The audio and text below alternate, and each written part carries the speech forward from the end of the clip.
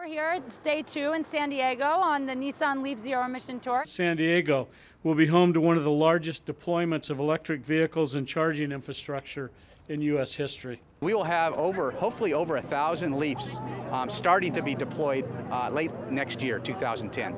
But these vehicles are more than just vehicles. They're also part of our long-term goal of developing a smart, intelligent electric grid here in San Diego. In addition to building infrastructure, the EV project will gather data, then use that data to develop ways to make charging more effective, not just for the five regions that we're in now, but for the rest of the country. We know that 50% of the uh, emissions uh, come from vehicles on the road. Uh, the more electric vehicles we get, the more charging stations we get, all of this uh, helps us to cut that down immediately.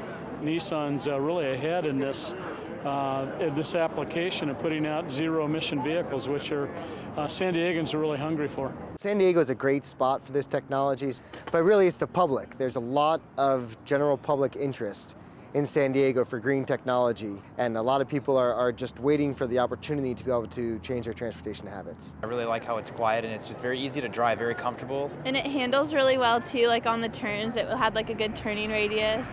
Yeah, I thought it was fun. I thought it was pretty quick off the line. I think definitely as far as the alternative vehicles that I've seen, this is probably the most practical one. You don't have to, to get the oil changed. You don't have to get the belt changed, the filters changed. The brakes are going to last anywhere from three to 10 times as long. We're changing uh, transportation like it hasn't been changed in 50 to 100 years. It does a 100 mile range on a charge, and the amount of savings involved to just personal drivers is going to be very important. It's a great car. I think the Leaf is a great car.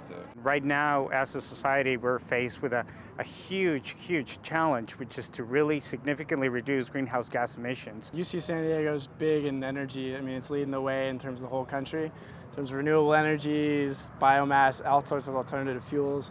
So electric vehicles, definitely, if they can get started here, then they can really take off. It's days like this where you notice there's no smog. Uh, San Diego's really gotten much better over the years, and this helps us take another leap forward.